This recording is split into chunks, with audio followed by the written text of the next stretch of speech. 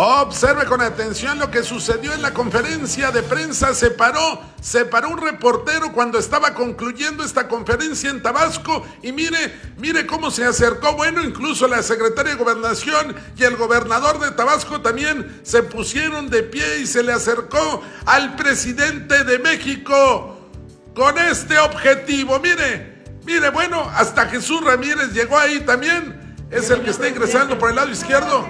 Sí, para ayudarle y darle una pluma porque llegó a pedirle un autógrafo a su presidente. Dicen que nadie es profeta en su tierra, pero esta conferencia que se desarrolló en Villahermosa, Tabasco, concluyó de una manera peculiar.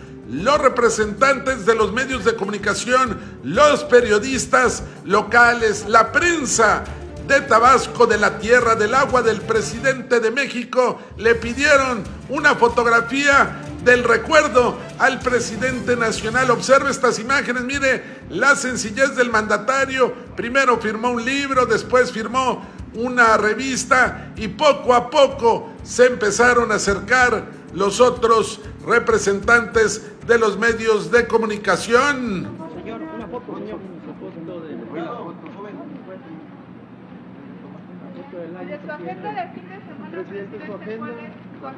Vamos a estar en, presidente, la foto conmigo. en el aniversario de la represión de los obreros de Río Blanco. ¿Se va el sábado o el mismo ¿Se va el sábado o el mismo domingo? Eh, vamos a estar también de gira, pero va a ser de supervisión. Ah, no, también va, va, va a ser este, de evaluación. ¿Desde cuándo se va? Eh, viernes, sábado, voy a estar en el Estado de México. Viernes, sábado. ¿Y el domingo en Veracruz? El domingo en Veracruz. En Río Blanco. ¿Se va Ah, el voy a pasar también a Puebla. Se- pero se va el viernes, el sábado. ¿Cuándo se va a Veracruz? Me voy el viernes. Eh, digo, Todo ligado. el viernes al Estado de México. El sábado, Estado de México, pero ya a pasar por Puebla para ir a dormir por allá. ¿Me puedo tomar una foto con usted? Venga, Muchas gracias. presidente, señor. ¿puedo? ¿Puedo Muchas llevar, gracias. presidente? Presidente, ¿me regala una foto, presidente? ¿Me regala una foto, presidente?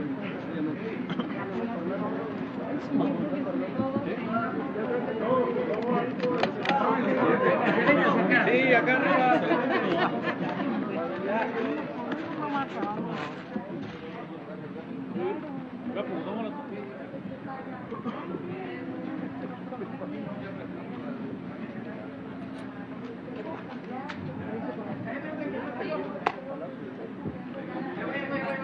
Acá, por favor.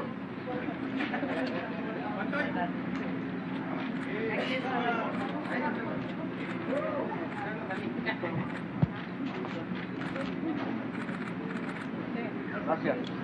muchas felicidades, muchas felicidades, que la pasen muy bien. Muy bien. Adelante.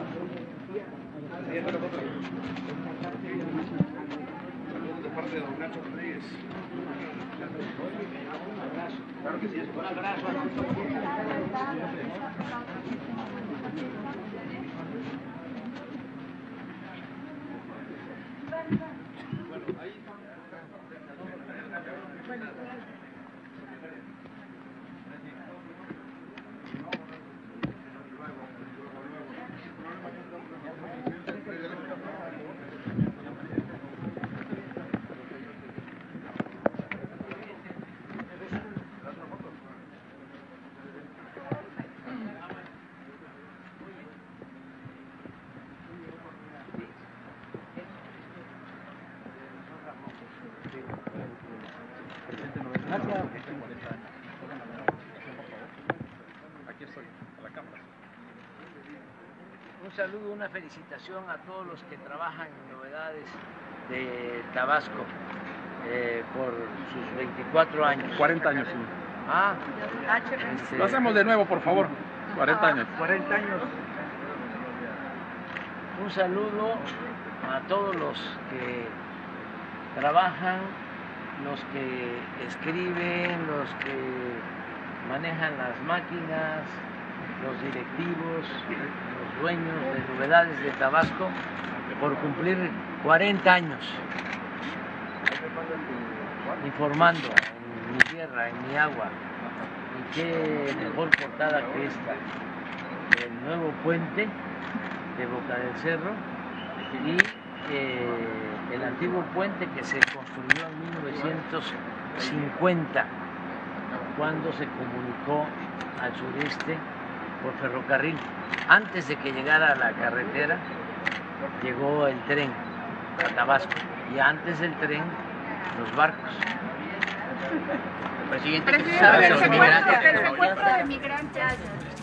Ahí está la sencillez del presidente que se tomó foto con todos. Pero antes, esto fue lo que sucedió y es lo que la prensa tradicional, lo que los medios callan. Porque ya el nieto de don Jesús Silva Gerso, estaba yo viendo una parte de su texto, hablando de que va a haber una elección de Estado, cree que somos iguales. Si don Jesús, su abuelo, lo leyera, se volvería a morir.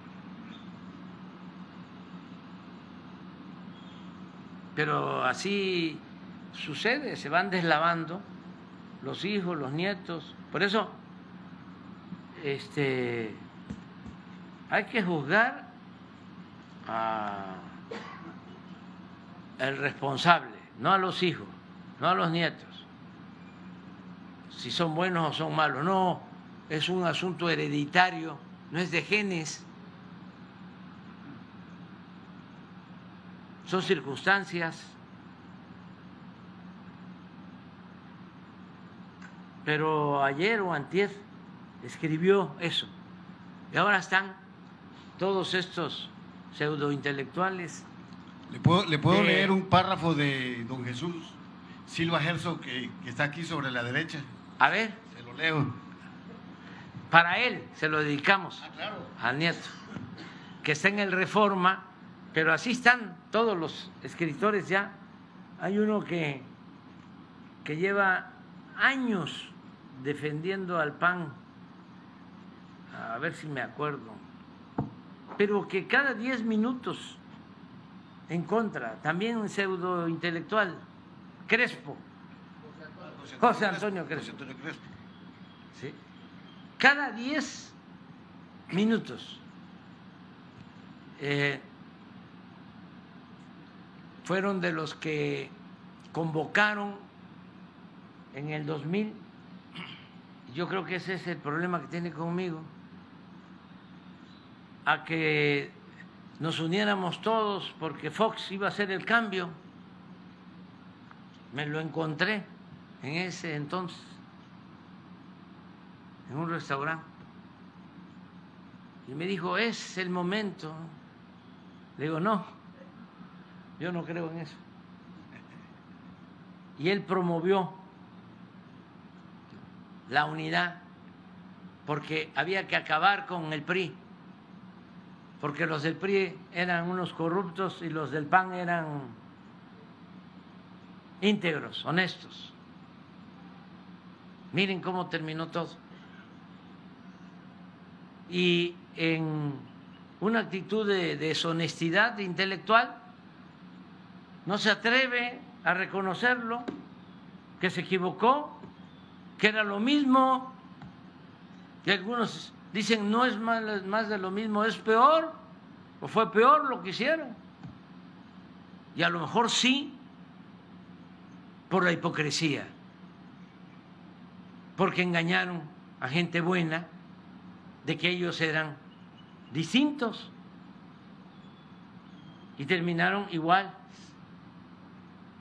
peores en algunos casos. Y no creían cuando hablábamos del PRIAN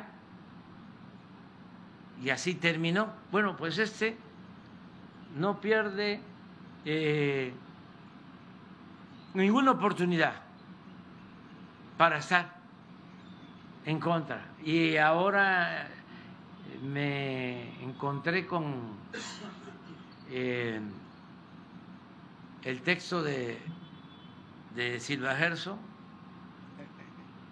y me encontré con otros que van igual, este, de que vamos a hacer una elección de Estado. No, no somos iguales.